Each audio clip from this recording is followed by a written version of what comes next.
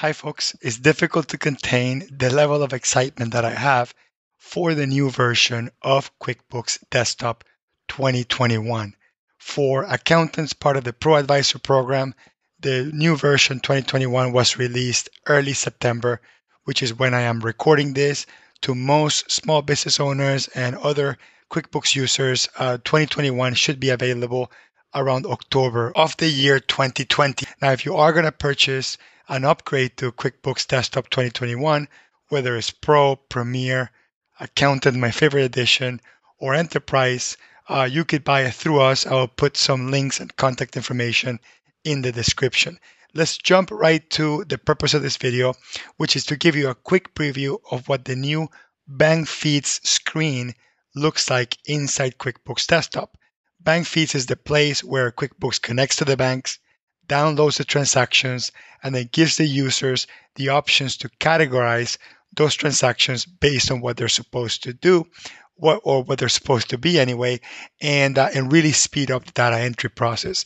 So let's dive deep into how that works. And I'm working on QuickBooks uh, Enterprise 2021, but this will work in Pro, Premier, Accountant, Enterprise, any desktop version of uh, QuickBooks will have this feature. So I'm going to click on the banking menu and then I'm going to go down into bank feeds and then click on bank feeds center. So that will send me into the bank feeds and you will notice that the new screen has been completely redesigned. If you're also a QuickBooks online user, you will notice that it looks a little bit like QuickBooks Online, which was an amazing upgrade to the whole process of bank feeds. Now, to make this a little bit easier and more comfortable to work with, I am going to collapse that left navigation bar so I get a little bit more real estate on the screen. Now, you're going to see here in the top where it says bank and credit cards, uh, you can click on the drop down menu where it says Chase, Bank of America, Wells Fargo, whatever, you will have every single bank account that has been connected. You will get a drop down menu and you can easily swap and, uh, and switch the active account that you're working in. You'll also get these uh, sort of big uh, cards that contain the most recently downloaded bank balance from the bank and whatever the current balance in QuickBooks is. You will also get a number that will let you know how many transactions are pending to be uh, categorized or, reviewed. They call it reviewed. When you go a little bit down, you're going to see four uh, sort of tabs that uh, separate your workflow. You're going to have recognized, partially recognized, which is really cool. We're going to have unrecognized and then added to the register. Unrecognized would be all the transactions that have been downloaded, and QuickBooks really has no idea how to categorize. So let's do a couple so you kind of see how this workflow works. Now, the first thing I'm going to do is I'm going to select any of these transactions. For example, you see this one in 611, delivery.com, and then here under the payee, I'm going to click on the drop down menu and select the vendor that belongs to that delivery.com. I can start typing DEL and it looks like it doesn't even exist. So I can just create it on the fly. So I'm going to type delivery.com or I could just call it whatever is it that is supposed to be and I'm going to hit uh, tab on the keyboard. Immediately after I hit tab, I get a, a menu that says, hey, this vendor doesn't exist. At this point, I'll just click on quick add and then click on vendor and click OK. And that will create the vendor into my vendor database. I'll put a, I'll make a quick pause here, click on vendor on the top of the screen and then on vendor center. And then you will know that uh, if I scroll down to the D's, we're now going to see uh, delivery.com. Where are you? In the database. Let me uh, resort this by name, and there it is, delivery.com. So in the future, when another transaction from delivery.com uh, shows up, I don't have to create that vendor. Uh, QuickBooks should actually recognize that as we go. Then we're gonna we have a blank box here that says uh, bank memo, and that would be what downloaded from the bank. Sometimes the memo downloads, sometimes it doesn't. I can actually add some additional information here, like uh, lunch with Mike, so I can override whatever came uh, from the bank, or in this case, whatever came from the bank was blank, I can add some additional memo per se. Now, account would be that category uh, of that expense transaction. So I would look at the transaction is $44. That's probably meals, meals and entertainment, something like that. So I'm going to go ahead and select uh, meals. So once I click on that, look how, how easy it is. It's all in one line. It's super easy to work with.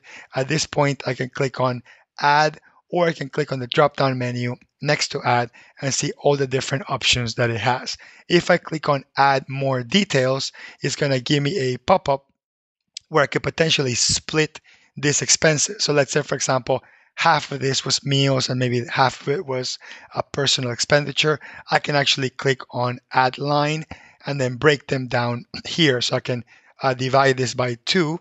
Uh, actually, I can't do the calculation on the fly here, but let's just make it easier, we'll do 44, we'll do 24.71, and then we'll do uh, 20.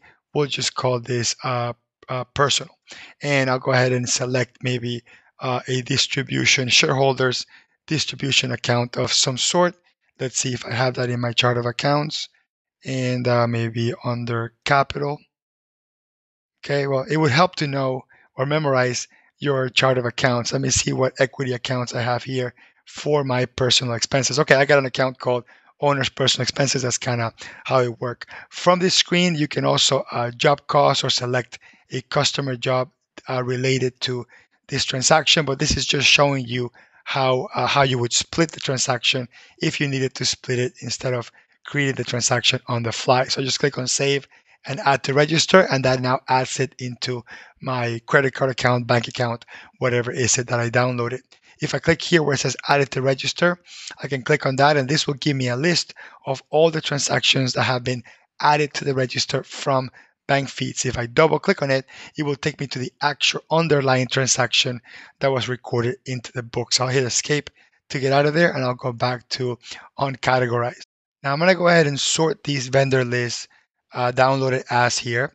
And then I'm going to pick one of these 7-Elevens and then I'm going to basically uh, kind of create the transaction on the fly. And uh, let's categorize these to gas. So we have that expense category. Let's type auto expenses. Okay, we'll put it under auto expenses. Then I click on the drop down menu and then I'll click on add more details. And notice down here where it says create rule from this transaction. When I click on that, it will basically automatically uh, create a rule for the transaction. So in this case, I can call this uh, 711 and it says here, if the description matches this text, automatically make it 7-Eleven and auto expenses. So I'm going to click on save and expressly create that rule and click on save and add uh, to register. So you will notice that that one transaction is going to be saved and added to the register. But then when I click on recognized, now you will see that it figured out that three other transactions uh, were applying and is automatically suggesting what to do with these.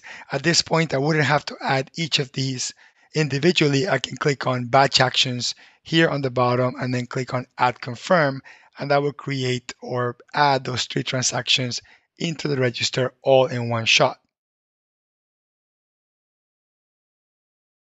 Let's go back into uh, unrecognized, sorted by uh, downloaded as. I notice that there's other 7-Elevens, but in this case, notice that they have different in this case, different store numbers per se.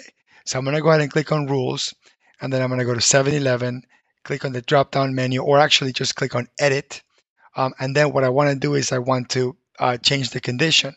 So instead of matching exactly 7-Eleven, we'll do uh, contains, and then we'll remove uh, the store number in this case, and then click on save. So that what that would do is we'll slightly modify that rule to catch anything that has 7-Eleven regardless of what store number it has. So I can click out of that, and then we're going to see that it's going to do its thing.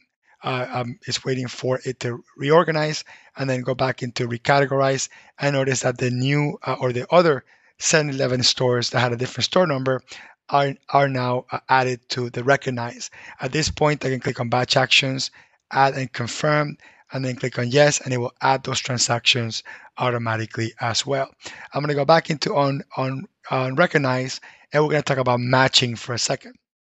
So matching is one of these more complex concepts where maybe we created the transaction prior to uh, downloading it, and we're going to use the downloads feature to match the transaction. So for example, I'm going to go ahead and create uh, a transaction before we go into bank feeds for this Amazon purchase of $169.98. And then I'm going to go back into bank feeds and instead of adding a new transaction, I'm going to have it uh, match it. So I'll just get out of here for a second. And then I'm going to go into uh, banking and click on enter credit card charges. Then I'm gonna uh, go into purchases from. I'll put uh, Amazon, and then we'll make this 169. I actually forgot what that dollar amount was exactly. Let me go back into bank feeds here to remember the dollar amount. Matching only works when the dollar amounts are exact. So I should have uh, written that down, I guess. So let's go down and see how much that transaction was. Let me organize it by charge again and go down to the 169. Uh, there you go, 169.98. That's the one we wanted to do. So we'll get out of that and then we'll put 0.98 and we'll date this maybe uh, April 30th because that's like the, day that I ordered it. Let's call it that. And then we're going to put this into uh, office supplies and then we can have any memos we want. We can put uh, new uh, printer, whatever we want. In essence, we're creating the transactions preemptively prior to doing the download because maybe somebody dumped a receipt on my desk and my job is to enter all those receipt expenditures even prior they show up in my bank feeds. So we created the transaction prior to the bank feeds. So it's in the register. Now I'm going to go back into uh, bank feeds and we're going to see slightly different behavior uh, when those transactions are going to be matched. So notice that it's not going to be sitting here in uncategorized anymore. It's going to be now under recognized and under is it's under the auto matched uh, category. So auto match means that we went ahead and noticed that there's another transaction in the same account for the same dollar amount within a similar uh, date range, and we're going to go ahead and match these. So when I click on the drop down menu, I can make it not a match if for whatever reason QuickBooks made a mistake and uh, and uh, matched it wrong. If I click on view details, I can quickly preview the underlying transaction that is trying to match with. So at that point, I can confirm and say, yeah, that's perfect. That sounds uh, about right. So I can just click on confirm uh, one by one, or you can do the batch uh, add as well, and that will add uh, Uh, that transaction uh, for you. So it's actually really neat uh, how that will work. Now, to be 100% transparent, none of these things are new features per se. If you have used QuickBooks Desktop in the past, 2020, 19, 18, 17, whatever year version you were using, all these functions worked, just that this screen looked very, very different. Finally, they made a screen that looks uh, really, really friendly and it just feels easier to operate. All of these co- columns uh, can be clicked on to uh, resort by those columns, and that's something that didn't work really well in older versions. So definitely kudos uh, to QuickBooks for improving that experience. But there is a new feature, especially if you're an old school uh, QuickBooks user that has been using bank feeds in one way, shape, or form that you never saw before, which is the search or the filter uh, box. So, for example, let's say I wanted to only have uh, things in here that had uh, .com. Let's just say anything that has .com in the vendor name is the only thing I want to see. So I'm going to go here in the search box and I'm simply just going to type .com, hit tab, and then now notice that it's only showing transactions that have a .com in it. Uh, with the same uh, uh, situation, let's say I only want something that has the word Miami in it, hit tab, and then notice that we have all the transactions that say Miami. This could come really, really handy whenever you have a whole bunch of expenses that in essence are the same thing, but they contain that city name in it. This happens to me all the time with clients that travel. Like I had a client that traveled to Barcelona. So I knew that anything that had the word Barcelona or Spain or España or whatever, uh, you know, derivatives or where he was physically, I could just code all that stuff to travel expense without having to research each of the vendors or the payees uh, one by one. So that becomes just really extremely handy having this little search search box there. By the way, as small as that little search box might seem, that's a complete game changer for someone like me that's doing hundreds, if not thousands of transactions at the time. So during this upcoming tax season, when we're, when we're doing millions of lines of data entry, that search box is just going to be 100% uh, value add for us. I'm going to go ahead and click on X to uh, sort of remove that search. And I'm going to click on this little uh, filter button. What's really cool about that filter button is I can uh, reduce a particular uh, date range. So let's say I only want to look at January of 2020. So I just come here under from, and then I'll put 01, 01, 2020 through 01, 31, 2020. This becomes particularly useful for people that are doing the bank feeds while they have a particular month of bank statement in front of them. Why? Because I don't want to see any of the other transactions. When I sort by vendor or payee, I want it to be within that date range. When I sort by amount, I want it to be uh, within that rate date range. So this is what you find it really uh, useful to have that date date range uh, search in there. So I'm going to clear that filter and then show you how else this uh, filter will work.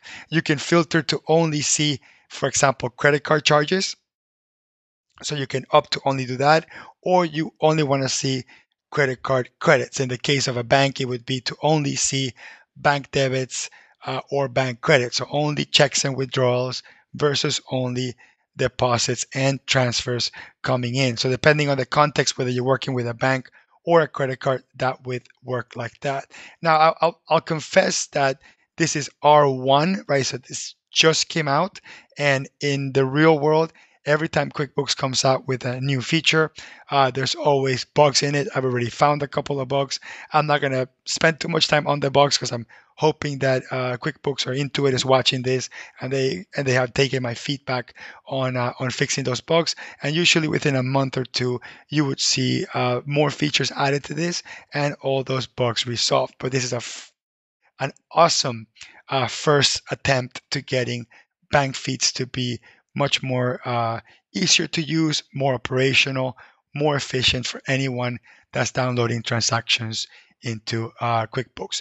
So anyway, I will be doing an update probably in a couple of months once you know this thing is 100% uh, bug free and everything works really well. Maybe they'll add some additional features. So stay tuned for a version two of this video that might go a little bit more in depth, especially on the matching, uh, dealing with checks, dealing with deposits matching. There's, there's going to be a lot more moving parts, especially in the rules and the matching portion. And I promise I will deliver a video with that content. Anyway, if you liked the video and you watched it up to this point, please make sure you hit like, hit subscribe. We're just hitting 100,000 subscribers. We're focused on helping small business owners and accounting professionals like you be more efficient at your accounting tools such as QuickBooks. And if you're going to purchase QuickBooks Desktop or even QuickBooks Online, check out the links in the description below. Contact us. We are resellers. This is how we can sustain and you can support the channel by purchasing QuickBooks products from us or hiring